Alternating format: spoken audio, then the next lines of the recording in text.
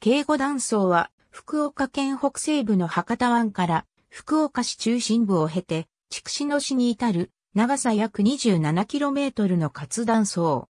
なお、北西の延長線上の海底下には2005年の福岡県西方沖地震の寄進断層である約 25km の活断層がある。両断層をつなぐと延長約 55km となり、合わせて、京護断層帯と呼ぶ。名前は、福岡市の地名、京護に由来。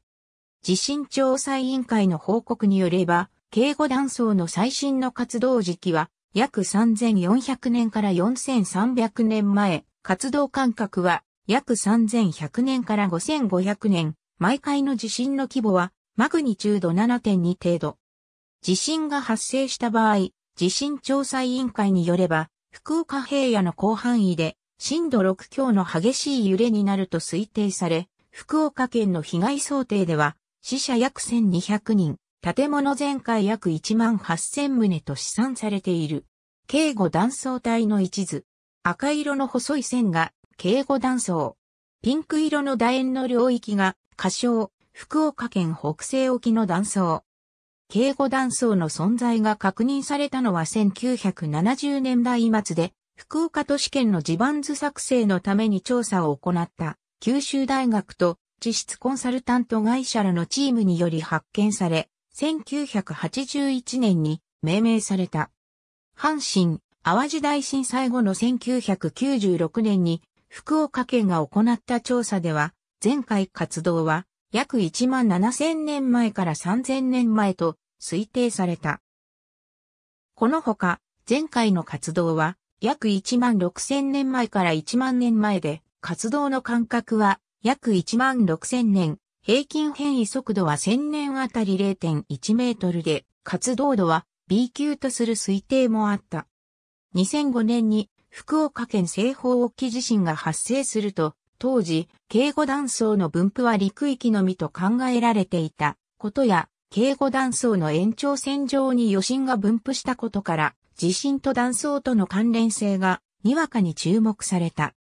地震後には複数の調査が行われ、従来知られていたものより活動間隔が短いことなどが判明し、それらの結果をもとに2007年に地震調査委員会が評価を行った。断層帯南東部の警護断層は延長約 27km。北西端は北緯33度39分統計130度19分、北緯33.650度統計130.317度、33.650-130.317で志賀島南東沖約 1km の海底付近。ここから博多湾を隔てた対岸の福岡市中央区に至るまで約 8km の区間では音波探査により特定された断層が断続的に続いており、区間の中央付近では2006年の採掘により活断層の存在が確認されている。陸上ではトレンチ調査により特定されている断層の北西端が中央区舞鶴で、そこから南東方向に断層が連続していると考えられる。中央区役員でも2001年のボーリングとトレンチ調査により活断層の位置が特定されている。役員駅付近から大橋駅付近までは西鉄天神大牟田線と並走し、ここで南区に入る。中川を横断してから航空自衛隊春日基地付近までは県道31号と並走し、ここで春日市に入る。次に断層位置が特定されているのは、大野城市場代理で、造成により、断層路頭が確認できるほか、2007年のトレンチ調査により位置が特定されている。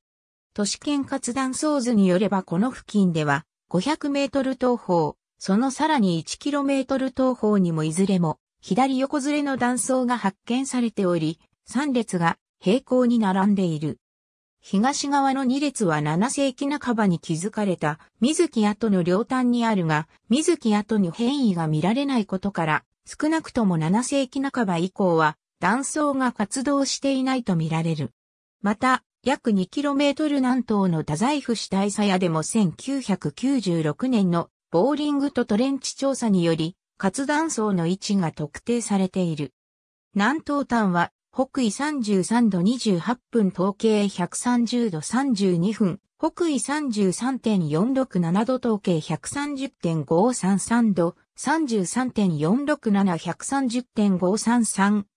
筑紫野市、諸田の西鉄天神大牟田線桜田駅、南方付近。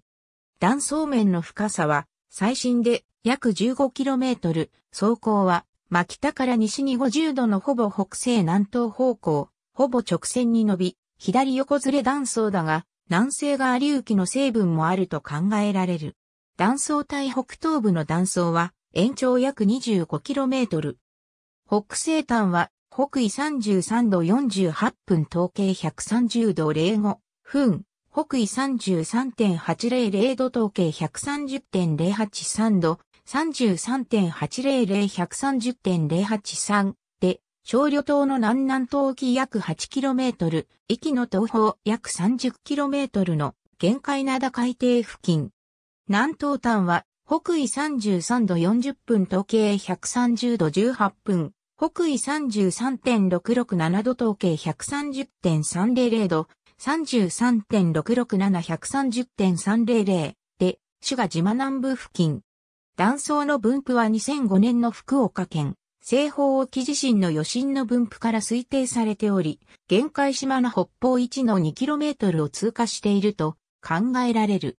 断層面の深さは最新で約 15km、走行は牧田から西に60度でほぼ直線だが、北西端付近と南東端付近はやや時計回りに屈曲している。左横ずれ断層。京護断層帯北西部の約 5km 北側の玄海灘には、滋賀島沖断層がある。走行は北北西でほぼ平行、変異も同じ、左横ずれで別の断層と判断されてはいるものの、関連性について議論がある。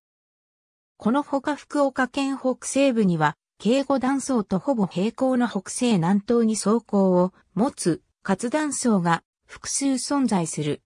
京護断層の約 15km 東側には、海断層、約 40km 東側には、西山断層、また、約 15km 南側には、日向峠小ヶ崎峠断層帯がある。また、京護断層帯北西部の北西延長線上、域北西沖の海底には、同じく北西南東に走行を持つ断層群が存在する。この断層は、旧原子力安全委員会により、現海原子力発電所のアセスメントの一環として、検討が行われている。これによると、断層群の走行が一定ではないため連続性が乏しいこと、京護断層帯北西部の北西端には、断層の端部に特徴的なスプレー構造が見られることなどから、京護断層帯と池北西沖の断層群は連続しないと結論づけている。地震調査委員会の報告によれば、断層帯南東部の京護断層では、少なくとも2回にわたる活動が確認されている。最も新しいものは約3400年から4300年前、次に新しいのは約7400年から8900年前。この2つの平均から活動間隔は約3100年から5500年と推定されている。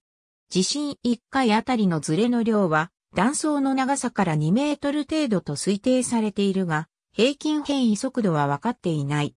一方、断層帯北西部では、2005年の福岡県西方沖地震が最新の活動であることが確認されているが、それ以前の活動は不明で、活動間隔も分かっていない。地震1回あたりのズレの量は、2005年の地震の際の観測に基づいた断層破壊過程の解析結果から2メートル程度と推定されているが、平均変異速度は分かっていない。地震調査委員会の報告によれば、断層帯南東部の警護断層と断層帯、北西部は過去の活動時期が異なることから、今後も2区間に分かれて活動すると考えられる。大地震が発生した場合、断層帯南東部の警護断層では、断層の長さに基づいて、ずれ2メートル程度、規模はマグニチュード7.2程度と推定されている。確率評価としては、今後30年以内に0.3から6%、今後100年以内では0.9から20%という値が示されている。この値は日本国内の活断層の中では地震発生の可能性が高いグループに属する。ただし留意点として2005年の地震活動による応力変化などが南東部の警護断層の活動を促進するという調査結果も報告されており、この値よりも高くなっている可能性があるとしている。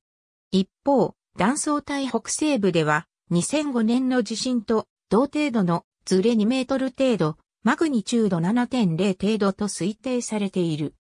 2005年に地震が発生しているため、近い将来に大地震が発生する可能性は低く、確率評価としては近い将来でほぼ0%という値が示されている。なお、現時点では確率が低いものの遠い将来においては肉感が同時に活動する可能性を否定できず、その場合はマグニチュード7.7程度になると推定される。南東部の警護断層については2008年に地震調査委員会が地震動評価を発表している。これによれば予測モデルによっては最大で震度7に達し、福岡市を中心とする低平地の広い範囲や、久留米市付近で震度6強、筑紫平野の広い範囲で震度5強以上となると推定されている。福岡市は独自の施策として、警護断層周辺の地域で高さ20メートル以上の建物を新築、または全面改築する場合、耐震基準における地域係数を建設小国時の0.8から1.0に引き上げることを求める条例を2008年10月から施行している。ただし、義務化すると、市の補助金が必要となり多大なコストがかかると考えられたことから、あくまで努力義務に止めている。2015年1月までの約6年間、対象となった177棟のうち条例に従ったのは53棟である。ありがとうございます。